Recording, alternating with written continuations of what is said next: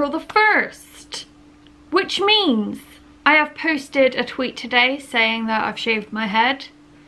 It hasn't got any likes or RTs, so I think it was seen right through.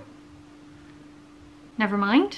April the 1st also means it is time again for the Buzzwordathon. The Buzzwordathon is a monthly reading challenge started by Books and Lala where you have to read a book that fits with that month's prompt. This month's prompt is space terms and I'm not a massive space person I must say but I've wanted to read this book for a while because just just for the cover. Super cute. The Gravity of Us by Phil Stamper. It is about two boys whose lives get uprooted because their parents become astronauts and they have to move to Houston and become part of this reality TV show that centers around the families of astronauts. So the main character Cal has just found out that his dad's been accepted into the program to go to Mars. So he has to give up his entire life and move to Houston and he's just dealing with that now. I am 39 pages in really loving it so far. Hopefully I'll be able to breeze through this and read another book in this video. Will she do it? We don't know. Um, yeah. The Gravity of Us. It's an LGBTQ plus book about a male-male relationship and um, their parents go to space. I'm glad I like it so far because like I said, space is not my thing. I really enjoyed The Martian, but it took me a while to wrap my head around it because I'm not smart enough to read about space, quite frankly. But this doesn't seem too technical of a read.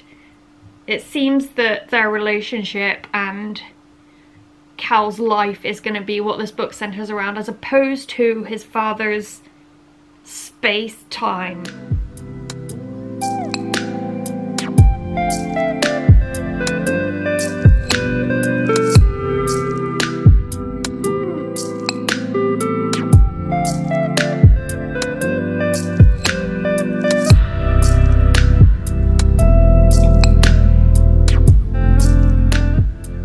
Okay, don't mind the lighting right now. It's uh, 10 past 10 at night and it's nearly bedtime because I'm exhausted. Uh, here is the progress I've made with the gravity of us. I am loving this so far. There's a, a little bit of space talk, but not so much that I don't understand. I love that um, they don't beat around the bush with the main character's relationship. There's been a bit of kissy kissy already, which I'm totally here for. I love the main character's personality. He's so sassy. I feel like this book has shown me my destiny. Because in the last vlog I did, I was asking for radio station recommendations and mentioned that my car plays tapes and I don't have any tapes. The main character in this book collects tapes and listens to them. So I've been on eBay looking at tapes. This book has shown me the way. It has literally given me guidance and I thank it.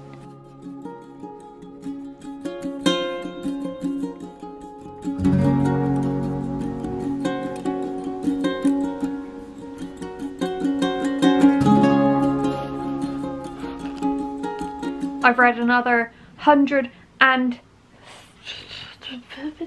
no I haven't. Oh my god. I've read another 68 pages of this book and so so cute. They're in love which I'm really happy about. It did not take them long to fall in love. And I'm just I'm not always a fan of sexual tension in books and like slow burn romances so I'm very grateful that this romance is like fast. Leon's depression is just so hard hitting and realistic because I'm reading it like snap out of it man you're in love but like as one who suffered from depression I know that that's not how depression works and like I know it's infuriating and frustrating and that's exactly how this book depicts it to be. Cal is an internet journalist. He is sharing his journey as an Astro Kid with his 1 million followers on this platform that's been made up for the purpose of this book that I've forgotten the name of. Flash Fame.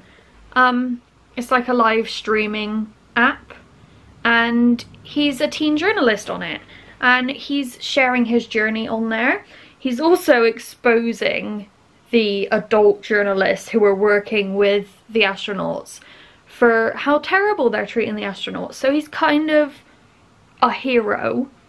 He's very impulsive and emotional. I also love his mum as well. I love his relationship with his mum. He kind of acts as her counselor and her confidant and it's just so sweet to see because here you have his caregiver being vulnerable with him and instead of making her feel guilty for needing him because she's his mum and she's supposed to take care of him, he just takes care of her and that is just so beautiful to see. Something bad's about to happen and I know this because I read ahead a little bit but hopefully it's resolved soon and then we can just get more adorableness.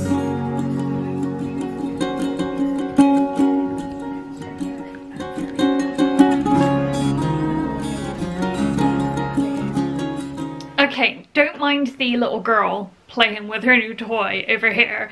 Um, she wants some attention. I finished The Gravity of Us. Uh, it took me a day longer than I thought it would because I had work yesterday. I'm so sorry about these chomping noises. She really likes her new toy. I absolutely love this book and I was trying to find problems or flaws with it so that I could give it a lower rating than five stars because it just feels predictable at this point. This is the fourth Buzzwordathon and the third book that I'm giving five stars, but it had to be done. I even loved the like NASA story, which is not a Sam thing to say. All in all, adorable, wholesome, absolutely perfect, almost made me cry, but we've got a handyman in the house right about now and it wouldn't have been appropriate. so of course, we're gonna have to uh, crack open another book because I have four days left of the Buzzwordathon and that was just too easy. So we jump in with another book with a space related theme. The Weight of the Stars. Now, as I understand it, this book is quite similar plot-wise to this book, just with a female-female relationship.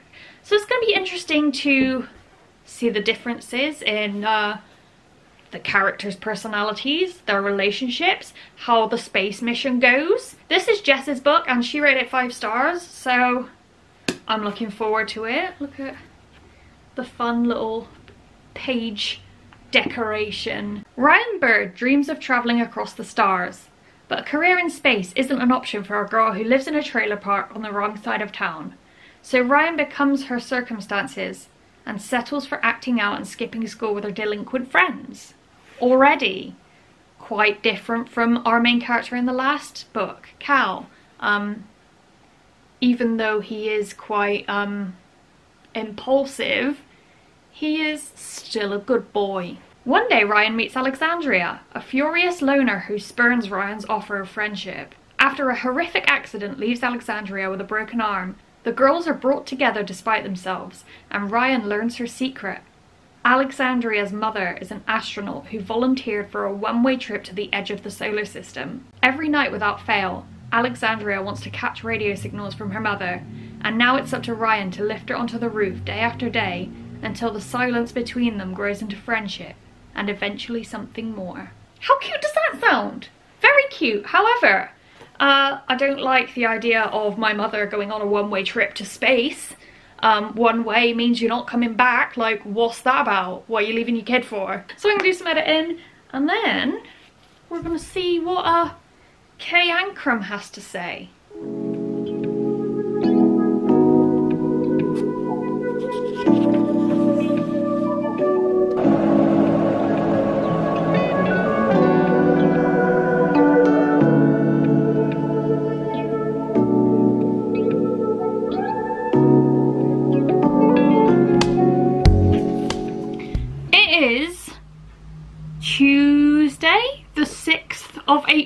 So I have today and tomorrow left to finish this book.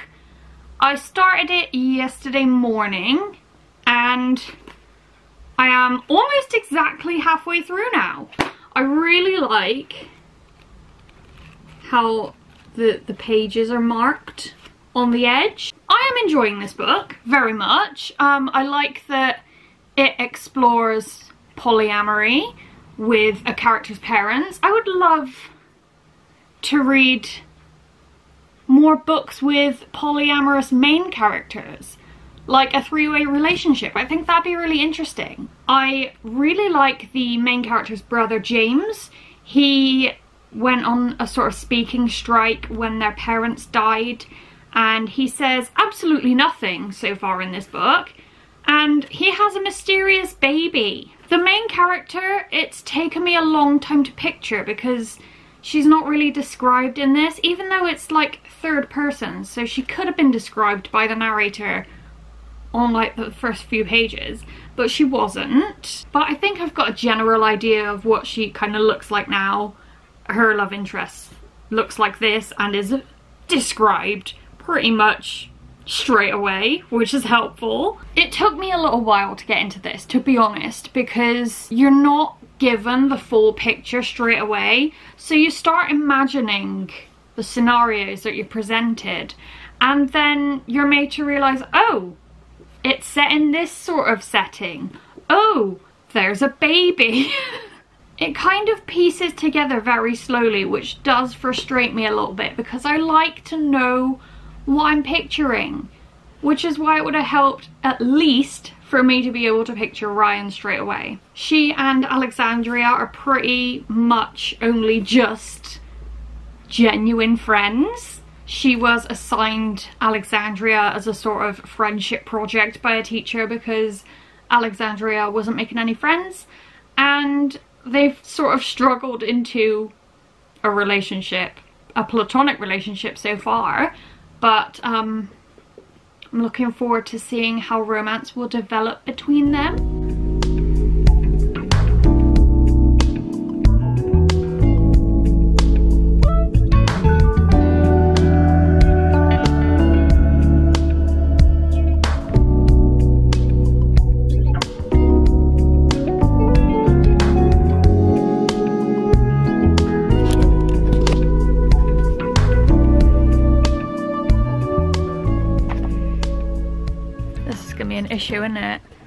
Filming with the window behind me like an absolute idiot. I finished The Weight of the Stars. It is the 7th of April. So, um, challenge complete. I got two books done for the Buzzwordathon. But before we get into the review, I just want to inform you that the gravity of us successfully influenced me into buying tapes on eBay. I now have entertainment for when I'm delivering pizzas. Shania Twain, come on over. An absolute anthem anthology right here. I am really looking forward to work on Friday now. But that's not what this video is about. This video is about books with space related themes in the title. So I just finished this book and I was this close to doing a cry. Very, very close to doing a cry. I'm going to admit I didn't love it as much as I love The Gravity of Us, but it ended so well. I think the main character's romance was a bit forced towards the end. Like, it could have had more airtime and more time to develop. At first it was hard to get into. The chapters felt too short to get to know the characters. Um, and like more than halfway through I learned that Ryan has short hair. So yet again I had to change how I imagined her. So like in my mind she was sort of a shapeshifter this whole book because I was just getting snippets of how she looked as the book went on. So that was kind of annoying in a way. I read a review last night in which someone said that the characters were hard to differentiate between and not that fleshed out. But I think towards the end, like, I got to know the characters a little better. And I feel like that was a nice organic way to get to know characters because you don't meet someone like and then know them like that. So I think it was quite nice to get to know the characters slowly. There were absolutely heartbreaking bits, but I absolutely love how it ended. Also, with both books, I love how the characters' queerness is no big deal to the people around them. It's like they're out, they're fine. It's not even addressed as like a bad or anxiety inducing thing, which I absolutely love because I've read so many books about like the the fear of coming out and although that's valid and realistic I just love when that's bypassed and you get instant love.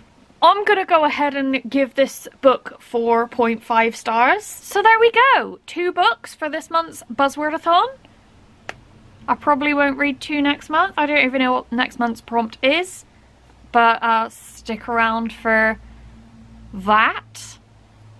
I hope you have a lovely day. Let me know what you read for this month's Buzzwordathon prompt, and I will see you next time with another video. Bye!